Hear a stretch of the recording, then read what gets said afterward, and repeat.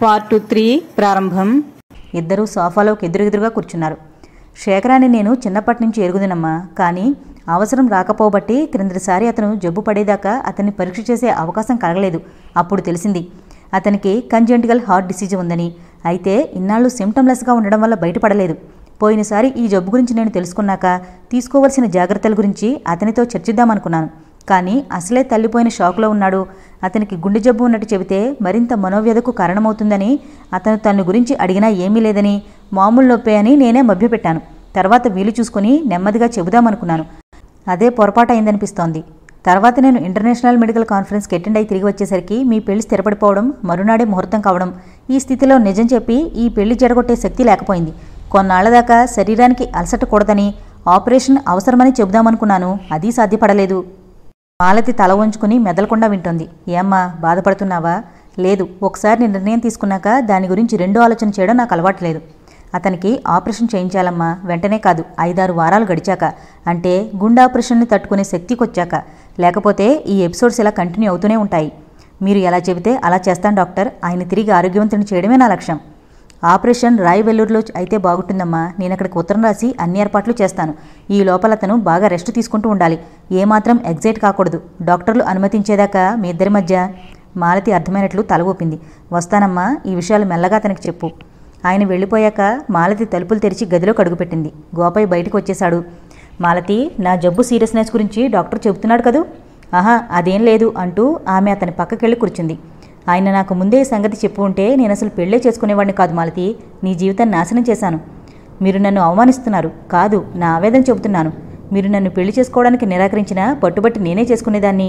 ఈ మాలతి గురించి మీకు తెలియదు నిన్ను నువ్వు కన్విన్స్ చేసుకునేందుకు ప్రయత్నించుకు మాలతి. ఆత్మవంచన చేసుకునే అలవాటు మొదటి నుంచి లేదు. జీవితం అన్నాక అనుకోని సంఘటనలు అనేకం ఎదురుతుంటాయి నిలబడి వాటిని తట్టుకోవాలి కానీ కలవరపడి పారిపోకూడదు. పోనీ ఇది నాకు ఇష్టమైన చేదు. సరేనా? మాలతి అతని గొంతు వణికింది. ఆ రాత్రి ఏ పన్నెండో దాటాక మాలతికి నిద్ర పట్టింది. ఆ నిద్రలో ఎన్నో కలలు. అందులో ఓ కలలో భానుమతి తన ఎదుట నిలబడి బెదిరిస్తున్నట్లు సరదాలు చేస్తున్నట్లు ఎన్నో రూపాలలో గోచరిస్తోంది. మాలి నువ్వు గెలవలేవు. గెలిచి తీర్తాను భాను గెలిచి తీరతాను. జీవితం నీకన్నా బలమైనది. నేను స్త్రీని. స్త్రీ జీవితం కన్నా బలమైంది. చూద్దాం అలాగే చూద్దాం. ఆ కళ ముగిసిపోయింది. మెడ మీద సున్నితమైనవేవో వాలినట్టు అవి ముందుకు పాకుతున్నట్లు శరీరమంతా పులకించినట్లు అనుభూతి. కళ్ళు తెరిచింది. బెడ్లెట్ వెలుతురులో ఎప్పుడు జరిగాడో గాని శేఖరం తన పక్క మీద నుంచి ఆమె పక్క మీదకు జరిగాడు. అప్రయత్నంగా ఆమె చేతులు కూడా అతన్ని చుట్టుకున్నాయి. మాలతి తప్పదు. నువ్వు నాకు కావాలి. వెన్ను మీద కొరడాతో చెళ్ళును కొట్టినట్టు అయింది గబాల్న అతన్ని తప్పించుకుని ఇదేమిటి? నా పక్కలోకి ఎందుకు వచ్చారు? మీరంత జాగ్రత్తగా ఉండాలో తెలుసా? అన్నది ఆందోళనతో. నేను జాగ్రత్తగా ఉండను. అసహజమైన జాగ్రత్త కన్నా సహజమైన ప్రకృతే నాకు కావాలి. మాలతి ప్లీజ్ అంటూ అతను మళ్ళీ ఆమెను దగ్గరకు లాక్కోబోయాడు. ఆమె విడిపించుకుని చప్పున లేచి కూర్చుంది. మీరు చదువుకున్నవారు సమస్యను అర్థం చేసుకోగల హృదయం ఉంది. ముడితనం చేయకండి. దయవుంచి మీ పక్క మీదకు వెళ్ళి పడుకోండి అంది కఠిన స్వరంతో. ఒక్క నిమిషం మెదలకుండా ఉండిపోయి అతను తన మంచం మీదకి జరిగి గోడవైపు తిరిగి పడుకున్నాడు. మాలతి తన మంచాన్ని కొంచెం అవతలికి లాగి అతని పక్కకు వెళ్ళి కూర్చుని కోపం వచ్చిందా అన్నది మృదువుగా. అతనేం మాట్లాడలేదు. చెప్పండి కోపం వచ్చింది కదూ? అంది మళ్ళీ అతని భుజం మీద చేయి వేసి నిమురుతూ. ఏం లేదు. చూడండి డాక్టర్ గారి సలహా ప్రకారం నడుచుకోవలసిన బాధ్యత మనకుంది. నేనెవరిని? మీ భార్యని? మీ ప్రాణాన్ని? మీ రక్తాన్ని? ఊపిరిని? మీ శ్రేయస్సు నాకంటే ఎక్కువ ఎవరికి తెలుసు? డాక్టర్ గారు ఈవేళ చాలా విషయాలు నాతో మాట్లాడారు. కంగారు పడకండి. మీకు ఆపరేషన్ చేయించాలట. రాయవెల్లూరు అయితే మంచిదట. ఆపరేషన్ చేయించుకుంటే మీరు మళ్ళీ మామూలు మనిషి అయిపోతారట. అప్పటి నుంచి మనం నిజమైన దంపతులం. చెప్పండి ఆపరేషన్ చేయించుకుంటారు కదూ? శేఖరం ఇటువైపు ఒత్తిగిల్లి ఆమె చేతిని తన చేతిలోకి తీసుకున్నాడు. నీ ఇష్టం మాలతి నువ్వేది చెప్పినా నేను కాదనలేను. ఆపరేషన్ జయప్రదంగా ముగిసింది. డాక్టర్ కృష్ణారావు గారు రాయవెల్లూరుకు తను కూడా వద్దామనుకున్నారు కానీ తన నర్సింగ్ హోంలో చాలా సీరియస్ కేసులు ఉండడం వల్ల వీలు కాలేదు. మాలతి గోపయ్యను తోడుగా తీసుకుని బాధ్యతంతా తానే స్వీకరించింది. హాస్పిటల్లో చేరాక వారం రోజుల వరకు ఏవేవో పరీక్షలు చేస్తూ చివరకు అక్కడి డాక్టర్లందరూ శేఖర్ పరిస్థితికి తృప్తిపడి ఆపరేషన్కు అనువైన కేసుగా నిర్ణయించి ఒకానొక రోజు విజయవంతంగా నిర్వహించారు. మాలతికి అవి విషమ గడియలు కొంతమంది జీవితాలు మధ్యలోనే చిరిగిపోయి అంతటితో అర్థం లేకుండా ముగిసిపోతూ ఉంటాయి. జీవితాలనేవి చాలా అనుభవాల పుట్టలు. బయటకు కనిపించేవి పది వంతులైతే లోపల జరిగేవి తొంభై వంతులు. కొంతమంది మామూలుగా ఉన్నట్టు కనిపిస్తూ ఏ డెబ్బై ఏళ్ళో ఎనభై ఏళ్ళో బ్రతికిన వాళ్ళని చూస్తే ఏ ఎగుడు దిగుళ్ళు లేకుండా ఎలా బ్రతికారా? ఇది సాధ్యమా అనిపిస్తుంది. నేను జీవితంలో ఓడిపోకూడదు అనుకుంది మాలతి. ఈ అధ్యాయంలో ఆమె ఆశ ఫలించింది. పోస్ట్ ఆపరేటివ్ కేర్లో ఆమె కంటికి రెప్పల శేఖర్ని కాపాడుకుంటూ వచ్చింది. దాదాపు నెల రోజులు అక్కడ ఉండాల్సి వచ్చింది. అక్కడి నుంచి బయలుదేరే ముందు ఊరు వెళ్ళాక ఏమేమి చెయ్యాలో ఎలా ఉండాలో అన్నీ బోధించారు. మూడు నెలల దాకా బహు జాగ్రత్తగా ఉండాలని అతన్ని గాజును చూసినట్లు భద్రంగా చూసుకోవాలి. శరీరానికి ఏమాత్రం అలసట మనసుకు ఏమాత్రం ఆవేశము కలగనివ్వకూడదు. మూడు నెలల తర్వాత మళ్ళీ చెకప్కు వచ్చి డాక్టర్లు అనుమతిస్తే అప్పుడు మామూలు జీవితం సాగించవచ్చు. రాయ్ వెల్లూరు నుంచి మద్రాసు వచ్చి అక్కడి నుంచి మెయిల్లో బయలుదేరారు. విజయవాడలో కొంచెంసేపు విశ్రాంతి తీసుకుని వేరే రైల్లో హైదరాబాద్ వెళ్ళాలని సంకల్పం. కంపార్ట్మెంట్లోకి ఎక్కి చూసిన మాలతి గుండెని ఎవరో నొక్కినట్టు బాధపడింది. మాలతికి శేఖర్కి పైబెర్తులు వచ్చాయి. కింద రెండు ఎవరివో ఆ ప్రయాణికులు ఇంకా రాలేదు. కింద సీట్లో కూర్చోబెట్టి గోపయ్యని తోడుగా ఉంచి టీసీతో మాట్లాడవద్దామని మాలతి ప్లాట్ఫామ్ మీదకు వచ్చింది. ప్లాట్ఫారం అంతా జన సమర్థంగా హడావుడిగా ఉంది. టీసీ ఎక్కడ ఉన్నాడా అని నలువైపులా కళ్ళతో వెతుకుతూ నడుస్తున్న మాలతి హఠాత్తుగా ఎవరో ఢీకొట్టినట్లయి అదిరిపడింది. ఆమె చేతిలోని వ్యానిటీ బ్యాగ్ కింద పడిపోయింది. మాలతి కోపంగా ఈ పని చేసింది ఎవరా? అని చూసేసరికి పొడవుగా దృఢంగా ఉన్న ఓ వ్యక్తి ఐఎమ్ సారీ అంటూ కిందకు వంగి బ్యాగ్ తీసి ఆమె చేతికి అందించాడు. బ్యాగ్ అందుకుంటూ మాలతి అప్రయత్నంగా అతని ముఖంలోకి చూసింది. అతనికి దాదాపు శేఖర్ వయసే ఉంటుంది. ముఖంలో కొంటెదనం కళ్ళల్లో ఆకలి తన వైపు సభ్యతను దాటి ప్రసరిస్తోన్న చూపులు. పేదాల మీద సందర్భం లేని చిరునవ్వు. అతని ప్రవర్తన నచ్చక థ్యాంక్స్ అంటూ ముఖం పక్కకు తిప్పుకుంది. మెన్షన్ నాట్ అంటూనే చూడండి మిమ్మల్ని ఎక్కడో చూసినట్లుగా ఉంది అన్నాడు. నేనెప్పుడు చూడలేదు మిమ్మల్ని కోపంగానే ముందుకు కదలబోయింది. వన్ మినిట్ ఏమీ లేదు. కొంతమందిని మొదటిసారిగా చూసినప్పుడే ఇదివరకే వారితో పరిచయం ఉన్నట్లు అనిపిస్తోంది. అదే వారిలోని ఆకర్షణ. అతని అతి చనువు ధోరణికి మాలతి విస్తుపోయింది. జవాబు చెప్పకుండా తన దారిన పోదామనుకుంది గాని లోపల నుంచి పొంగుకొస్తున్న ఆవేశం అణుచుకోలేక కొంతమందిని చూస్తే జీవితంలో మళ్ళీ కలుసుకోకూడదనిపిస్తోంది. విసురుగాని ముందుకు నడిచింది. ఆమెకు టీసీ కనిపించాడు. అతనితో తన భర్తకు హార్ట్ ఆపరేషన్ అయిందని పై బెర్త్ ఎక్కలేడని ఎలాగైనా ప్రయత్నించి కింద ఏర్పాటు చేస్తే బాగుంటుందని అడిగింది. రండి చూద్దాం. కో ప్యాసింజర్ సహకరిస్తే వీలవుతుంది అంటూ టీసీ ఆమెతో పాటు కంపార్ట్మెంట్ దగ్గరికి వచ్చాడు. అప్పటికే ఒక ప్రయాణికుడు వచ్చి ఉన్నాడు. అయితే అతను ఎనభై ఏళ్ళ ముదుసలి. దానితో పాటు ఒబ్బసం ఉన్నట్లు ఊరికే రొప్పుతున్నాడు. అతన్ని చూస్తుంటే అడగడం అనవసరమే అనిగాక తప్పు అని కూడా అనిపించింది. రెండో ప్రయాణికుడు ఇంకా రాలేదు. మీరు కూర్చుని ఉండండి మేనం వేరే పని చూసుకుని ఇప్పుడే వస్తాను అని చెప్పి టీసీ వెళ్ళిపోయాడు. పర్వాలేదు మాలతి. నేను పైబర్తి మీద వెళ్తాను అన్నాడు శేఖర్. మాలతి అతని వంక నవ్వుతూ చూసి వెళ్ళగలరు కానీ నేను వెళ్ళనివ్వను అన్నది. శేఖర్ కూడా నవ్వాడు. ఇంటికి వెళ్ళాక నీతో చాలా ప్రమాదాలున్నాయి నాకు తెలుసు అన్నాడు. కానీ మీతో నాకు తిప్పలున్నాయని నాకు తెలుసు అంది మాలతి. ఆ రెండో ప్రయాణికుడు ఎంతకు రాడేమని విసుకుంటూ డోర్ దగ్గరకు వచ్చింది. సరిగ్గా అదే సమయానికి మేడం కొంచెం దారిస్తారా? అంటూనే ఒక వ్యక్తి ఆమెను రాసుకుంటూ పైకెక్కి అరే మీరా? అన్నాడు. మాలతి అతన్ని గుర్తుపట్టి తిరస్కారంగా చూసింది. జీవితంలో రెండోసారి చూడకూడదన్న మనిషి ఐదు నిమిషాలన్నా గడవకముందే రెండోసారి సిద్ధమైపోయాడు. చూసారా విధి?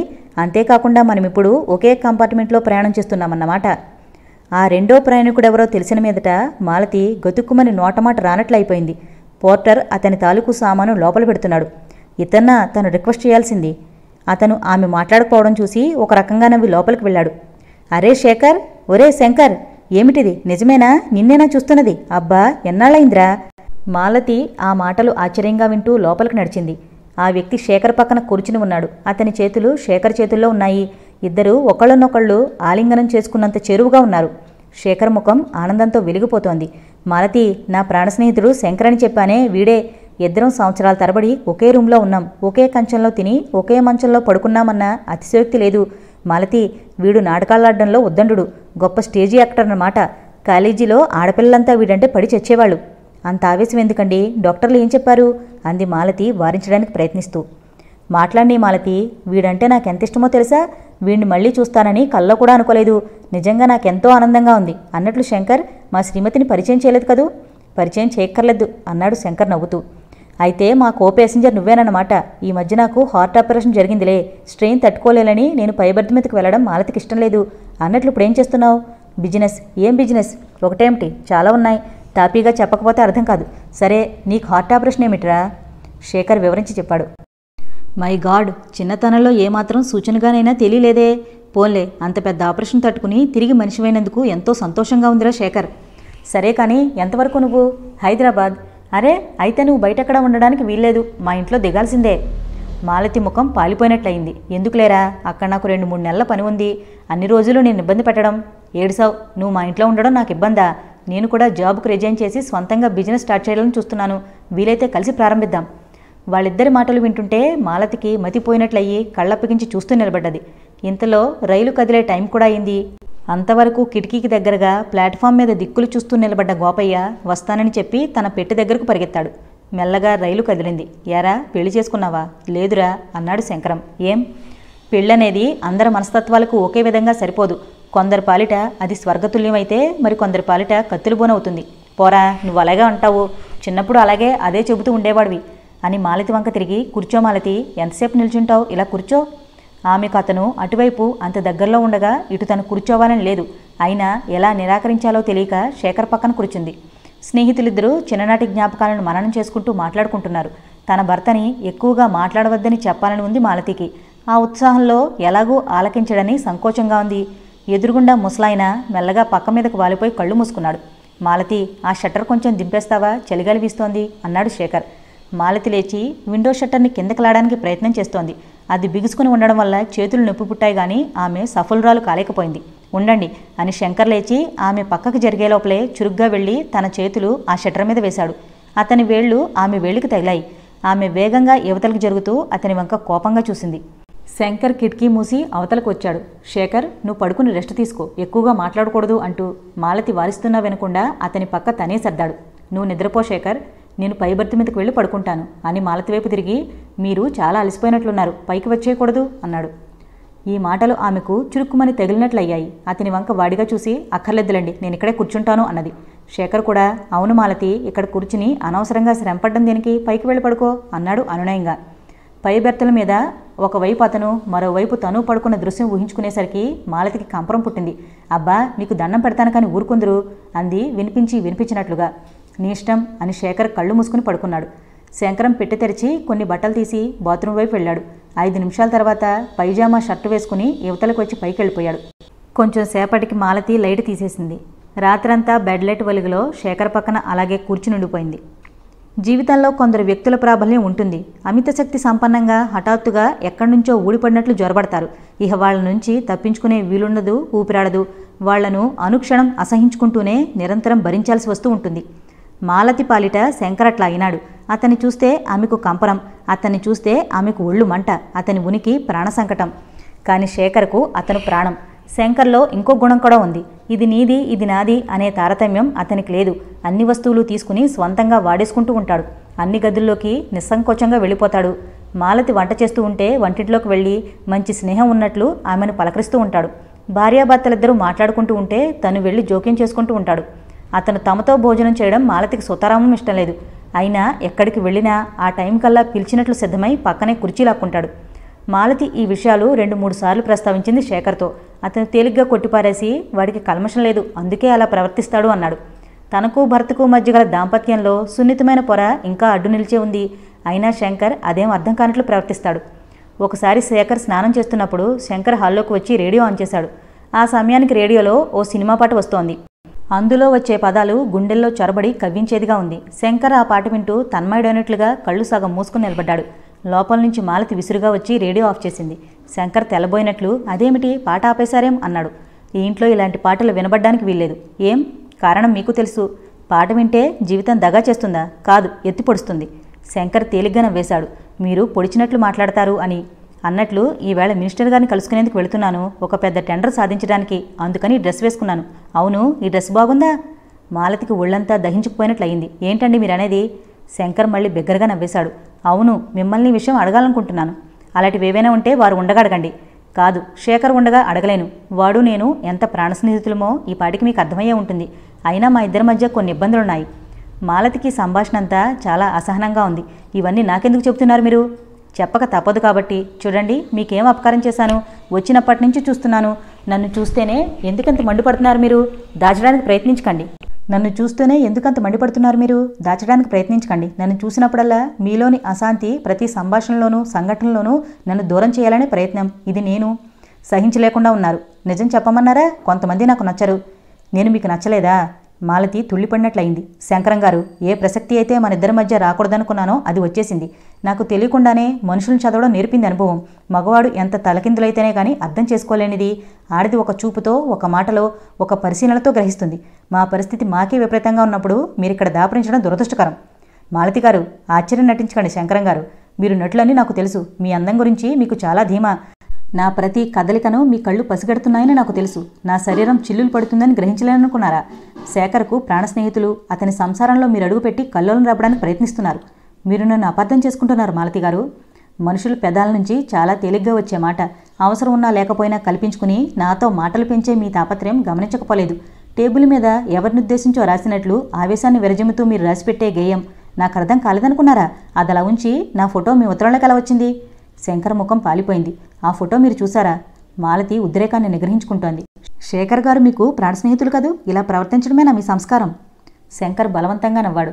ఒక్కోసారి సంస్కారాన్ని మించి ఉంటుంది బలహీనతలోని బలం. దుర్మార్గపుట ఆలోచనలు చేసినంత మాత్రాన దుర్మార్గాలు చేయగలరనుకోకండి.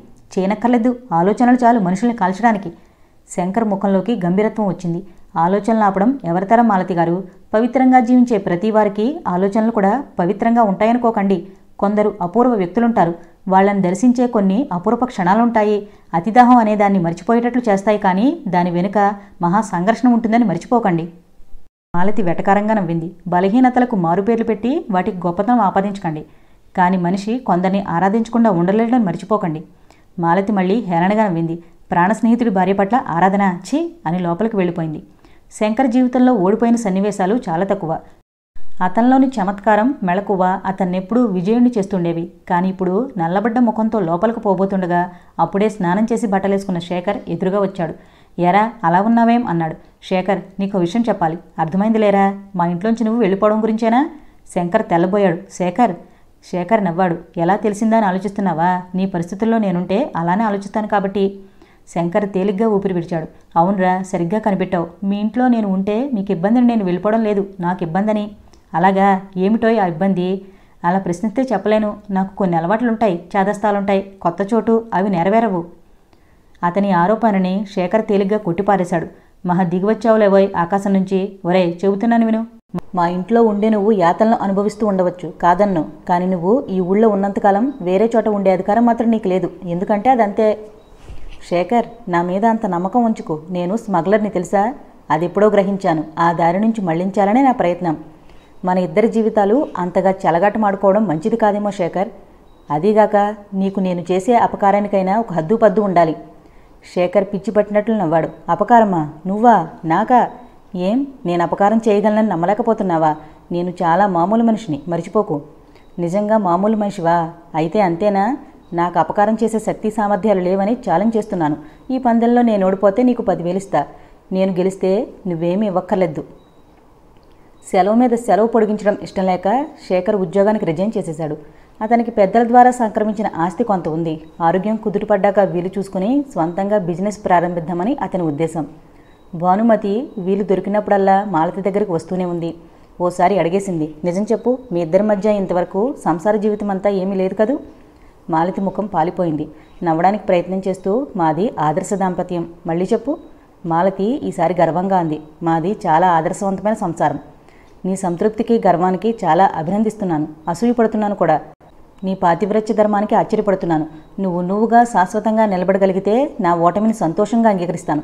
భాను నీ ఓటమి కోసం కాదు నేను బ్రతికేది. నా గెలుపు కోసం కూడా కాదు మానవతా ధర్మాన్ని పాటిస్తున్నాను. భానుమతి మనసారా నవ్వింది. మళ్ళీ ఓసారి అభినందిస్తున్నాను. సరే గాని నీ గురించి చెప్పు. ఏముంది చెప్పడానికి? అంత ఒంటరిగా ఎలా ఉండగలుగుతున్నావు? పిచ్చిదానా ఈ విశాల ప్రపంచంలో ఆడదనే వస్తువు ఒంటరిగా ఎలా ఉంటుందే? అడుగు తీసి అడుగు వేస్తేనే మనకు అక్కర్లేని తోడు బలవంతపు తాడు. వద్దనుకున్న జిడ్డులా వదలని తోడు లభిస్తూనే ఉంటుంది కదా. అయితే నీకెన్ని తోడులు లభించాయేమిటి? చెప్పమంటావా? ఈ మధ్య మన బాస్ మోహన్ లాల్ లేడు ఏదో కారణం చెప్పి డిన్నర్కి పిలిచాడు. చంపుతానన్నాడు కదా అని వెళ్ళాను. ఇంట్లో వాళ్ళ ఆడవాళ్ళెవరూ లేరు. వాడి ఉద్దేశం అర్థమైంది. అవకాశం వచ్చింది కదా అని విజృంభించడం మొదలుపెట్టాడు. గ్లాసులో విస్కీయో బ్రాందియో పోసి తాగమన్నాడు. అలవాటు ఉంటే అభ్యంతరం లేదు కానీ లేదు కాబట్టి అక్కర్లేదన్నాను. వాడు మాత్రం పీకల దాకా తాగాడు.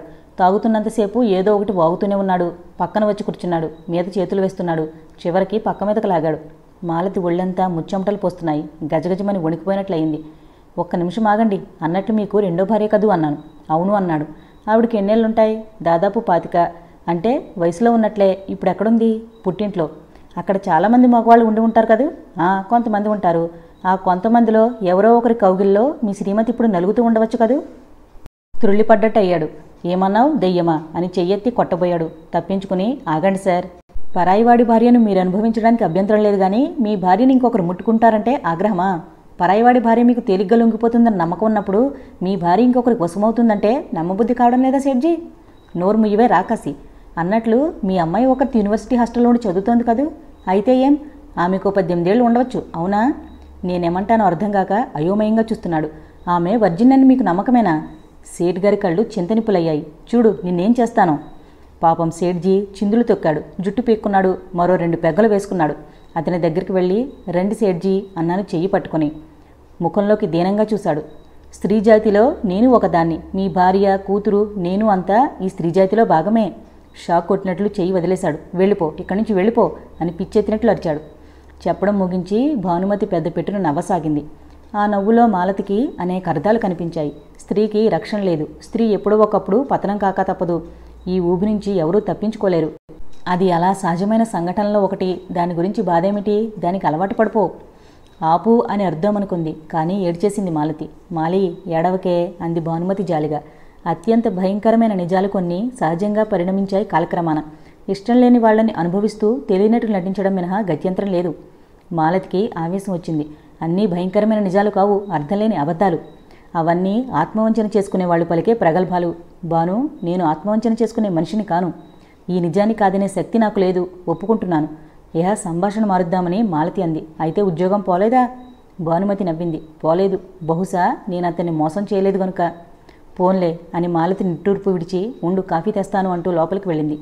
వంటింట్లో తలుపులు జారవేసుకుని గోడ కానుకొని బావురుమని ఏడిచేసింది మనసారా.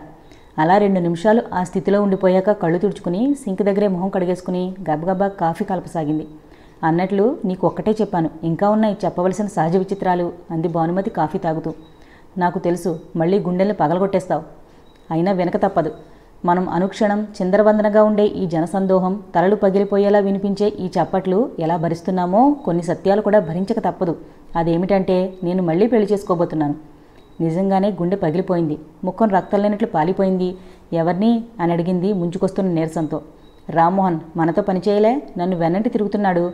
ఒక రకమైన ప్రేమ వ్యవహారం అనుకో. అతను ప్రేమను బహిర్గతం చేయడం మేమిద్దరం సినిమాలు షికార్లు సాగించడం ముమ్మరంగా సాగాయి. అతను పెళ్ళి చేసుకోమని అడిగాడు. నాకు అభ్యంతరం చెప్పే అవసరం కనిపించలేదు. సరేనన్నాను. చిచ్చి అనుకుంది మాలితి. అతనితో నీకు ఇదివరకే పెళ్ళైనట్టు చెప్తావా? అని అడుగుదామనుకుంది. కానీ ఎందుచేతనో అడగలేకపోయింది. భాను భాను ఎన్ని దశల్లో నిన్ను చూడాల్సి వస్తుందో ఎలాగే ఎలాగే అని మనసులో వాపోయింది. ఆరోగ్యం కొద్దిగా కుదుట పడేసరికి శేఖర్లో చలాకితనం వస్తుంది. అవసరాన్ని మించి అలసట చెందడం చీటికి మాటికి బయటికి వెళదామని పేచీ పెట్టడం ఎక్కువైంది. ఒక రోజు ఇంట్లో బోర్ అయిపోతున్నానని మారం చేసి మాలతితో ట్యాక్సీలో పబ్లిక్ గార్డెన్కి వెళ్ళాడు. అక్కడ ఆమె ఎంత వారిస్తున్నా వినకుండా అటు ఇటు షికార్లు కొట్టేసరికి గుండెల్లో నొప్పొచ్చింది. ఒళ్ళంతా ముచ్చెమటలు వచ్చేసినట్లయింది. మాలతి అతన్ని ఎలాగో ట్యాక్సీలో ఇంటికి తీసుకొచ్చేసరికి గుండెల్లో నొప్పి మరీ ఎక్కువై కారులో నుంచి కిందకి దిగలేకపోయింది. మాలతి తను ఒక్కదే అతన్ని దింపలేక గోపయ్య గోపయ్య అని కేకేసింది.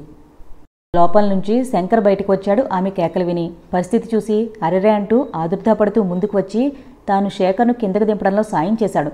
ఒకవైపు మాలతి అతని భుజాల కిందుగా చేతులు వేసి లోపలికి తీసుకెళ్ళి మంచం మీద పడుకోబెట్టారు. మాలతి వగర్చుతూ వెళ్ళి డాక్టర్ గారికి ఫోన్ చేసింది.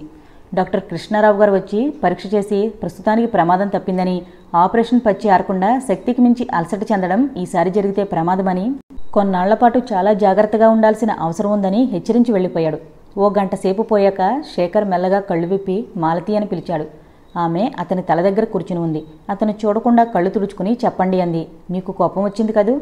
లేదు ఆనందంగా ఉంది. అలా అనుకు మాలతి నేను మామూలు మనిషిని అయిపోయాననుకున్నాను ఇంత అల్పజీవిని అనుకోలేదు. ఆరోగ్యం బాగుండకపోతే అల్పజీవి అవుతారా ఊరుకోండి. అన్నట్లు శంకర్ అన్నం తిన్నాడా? నాకు తెలీదు. నువ్వు పెట్టకపోతే ఎలా తింటాడు మనకి అతను మన అతిథి. ఇదెక్కడ పీడ మనకు? ఎక్కడి నుంచి పోకూడదు? అనేసింది. ఏ కోపం అణుచుకోలేక తప్పు మాలతి అతని గతిలేక మన ఇంట్లో ఉండడం లేదు. నా కోరిక మన్నించి ఉంటున్నాడు. అతనితో ఎలా వాదించాలో తెలియక ఊరుకుంది. వెళ్ళి అతనికి అన్నం పెట్టు మాలతి. చిచ్చి అనుకుంటూ లేచి నిలబడింది.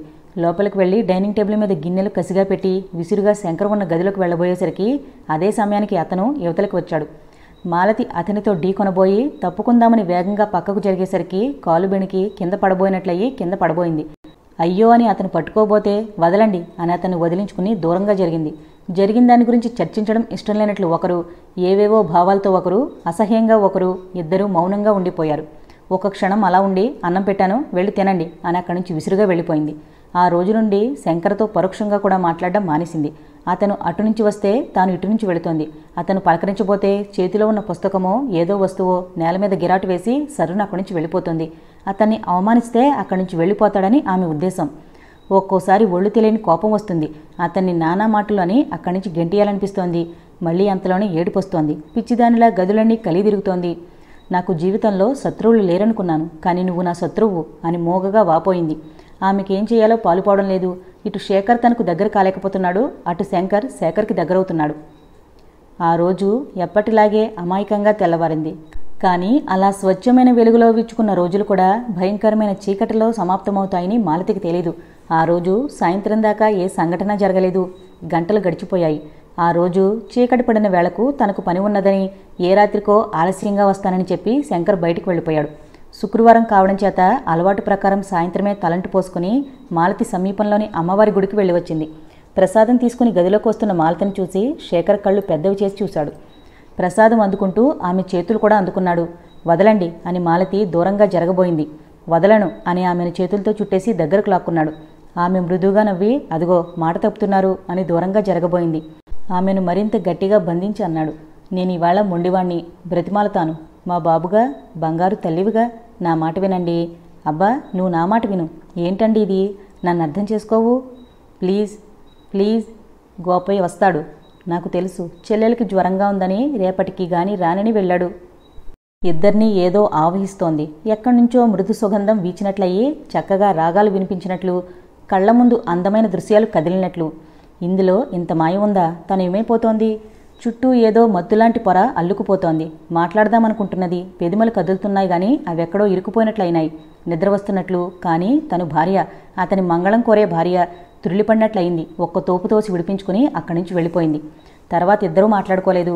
కలిసి భోంచేశారు. గదిలోకి పోయి ఎవరి ధరని వాళ్ళు పడుకున్నారు. అయినా ఒక్క మాట మాట్లాడుకోలేదు. నిద్ర ఇప్పుడు వెయ్యి మైళ్ళ దూరంలో ఉన్నట్లుంది. ఇద్దరూ ఏదో దిగులు అసంతృప్తి బాధ ఆరాటం. పలకరిస్తే మంటలు ప్రజ్వరిలేలా ఉన్నాయి. క్షణాలు గడిచిపోతున్నాయి. మనసులు బుసలు కొడుతున్నాయి. అక్కడ ఉండలేక మాలతి లేచి హాల్లోకి వచ్చేసింది. కాళ్ళ కింద పచ్చికలాంటి మెత్తటి తివాసి ఆ మందమైన కాంతిలో గోడలకున్న చిన్న చిన్న బొమ్మలు వింతగా మెరుస్తున్నట్లు కనిపిస్తున్నాయి. తనువు మనసు అన్నీ అస్పష్టమైన దశలో ఉన్నాయి. మాలతి వెనుతిరిగింది ఆ కనీ కనిపించని వెలుగులో ఎదురుగా భర్త వేల ఆరాటాలతో దగ్గరగా వచ్చాడు. ఆ చిరుకాంతిలో అతని కళ్ళు బొగ్గుమని మండిపోతున్నట్లుగా గోచరిస్తున్నాయి. తప్పదు. కళ్ళప్పగించి చూస్తోంది. ఇవాళ నిన్ను తీసేసుకుంటాను. మాలతి అతని ముఖంలోకి తదేకంగా చూస్తున్నట్లు ఉన్నట్లుండి పిచ్చి పట్టిందల్లా నవ్వింది. ఆ నవ్వులో ఏడుపు ఉంది ఆ నవ్వులో కసి ఉంది ఆ నవ్వులో బాధ ఉంది ఆ నవ్వులో సెగ ఉంది. మంచిది. మీకు కావలసింది జీవితపు శాశ్వత విలువలు కావుగా. రండి నన్ను తీసుకోండి. మీకు కావలసింది మీ భార్య శరీరం. లోపల ఆవేదనని ఆకర్షణగా కప్పుకున్న శరీరం. మీ భార్య ఓ హంతకురాలిగా లోకమందు నిలబడాల్సి వచ్చినా మీకు అభ్యంతరం లేదు. మీ భార్య కర్తవ్యాన్ని మర్చిపోయిన దోషులా లోకముందు నిలబడాల్సి వచ్చినా మీకు అభ్యంతరం లేదు. రండి శేఖర్ రండి. రండి సార్ రండి. నేను మనిషినే. నాలోనూ రక్తం మీలోనంత వేగంగా ప్రవహిస్తోంది. నా మనసు మీ మనసు అంత భయంకరంగా చెలరేగుతోంది. రండి. ఆమె అతన్ని ఆహ్వానిస్తున్నట్లుగా ముందుకు జరిగి కళ్ళు మూసుకుంది. శేఖర్ భయ విహల్యుడే ఆమె వంక చూశాడు.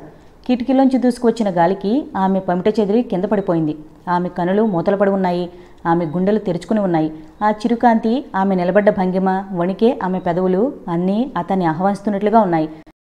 కానీ ఆ రూపం అతనికి ఉన్నతంగా గోచరించింది. మహా తేజస్సులా తనకు మించిన శక్తిలా దృగ్గోచరమైంది. కనులు మిరుమిట్లు కొలిపినట్లయినాయి. నోనో అంటూ వెర్రివాళ్ళ లోపలికి వెళ్ళిపోయాడు. అప్పుడో చిత్రం జరిగింది. అప్పుడో మహావిచిత్రం జరిగింది.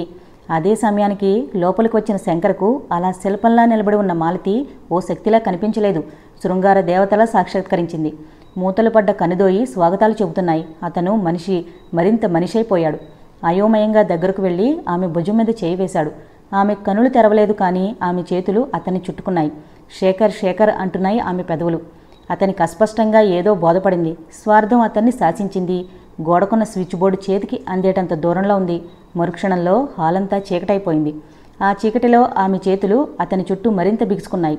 ఆమె ఎటో తేలిపోతోంది. జరిగేది ఆమె గుర్తించిందా? గుర్తించగలిగిందా? గుర్తించగలిగినా ఏమీ చేయలేని స్థితిలో ఉండిపోయిందా? అలాంటి స్థితిలో ఏం చేస్తోంది? ఈ విషయాలు మాత్రం నాకు తెలియవు. అమాయకంగా తెల్లవారిన ఆ రోజు శంకర్ అనే చీకటి రూపంలో ఆమెను కబళించిందని మాత్రం రాయగలను. అప్పటికింకా తూర్పు రేఖలు విచ్చుకోలేదు. దెయ్యం లాంటి చీకటి విడిపోలేదు. మాలతి మాత్రం శవంలా నేల మీద పడుకుంది జీవితం అంటే అతి విలువైంది. అమిత భద్రంగా దాచుకుందామనుకున్నది. కనుమూసి తెరిచేటంతలో అతి తేలిగ్గా పోగొట్టుకుంటాము. వాటి విష ఫలితాలు మాత్రం చివరిదాకా అనుభవిస్తూ ఉంటాము. లోపల గదిలో నిద్రబిళ్ళలు వేసుకున్న శేఖర్ అశాంతితో కూడిన గాఢ సుషుప్తిలో మునిగి ఉన్నాడు. అప్పటికి ఐదోసారో ఆరోసారో మాలతిని పలకరించడానికి ప్రయత్నం చేసి ఆమె చేత చేదరించుకోబడి తన గదిలో కాలుగాలిని పిల్లిలా తిరిగాడిన శంకర్ మళ్ళీ ఆమె దగ్గరకు చేరాడు. మాలతి ఆమెలో చరణం లేదు. మాలతి ప్లీజ్ ఎంతసేపు ఇలా నేల మీద పడి ఉంటావు? శేఖర్ నిద్రలేస్తాడు. లేచి మామూలుగా ఉండు. ఆమెలో ఏమాత్రం కదలిక లేదు. అతడు ఆమె పక్కన కూర్చుని చూడు అంటూ భుజం మీద చేయి వేసి కదపబోయాడు.